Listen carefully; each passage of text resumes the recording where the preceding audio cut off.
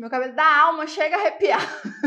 Arrepia quando eu ouço você, mulher empresária, que tem grande potencial, que tá aqui com uma jornada quádrupla e vira e fala assim: eu tenho uma lojinha. Quando eu vejo você diminuindo o seu negócio, você diminuindo o seu trabalho.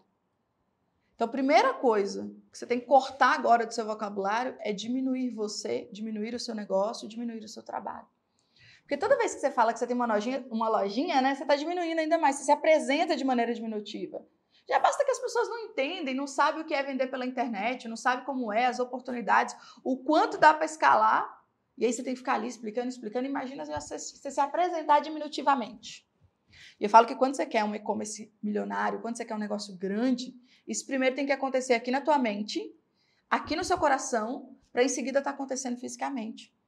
E, e, o maior perigo não é você sonhar em fazer mil vendas em um dia. O maior perigo não é você sonhar em fazer 100 vendas em um dia. O maior perigo não é você sonhar em vender um milhão.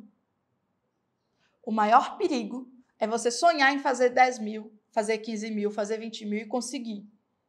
Porque imagina você com o potencial grande que você tem, você sonhar pequeno, planejar pequeno e conseguir e ainda ficar feliz com o resultado pequeno.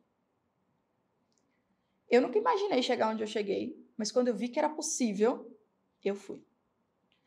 Eu falo muito com os meus alunos, falo, depois que você faz 100 mil, é impossível não fazer 100 mil de novo. Depois que você faz um milhão, é impossível não fazer um milhão de novo. Sabe por quê? Porque depois que você vê, é impossível desver. É uma jornada, é um caminho, você precisa de estratégia, você precisa de conhecimento.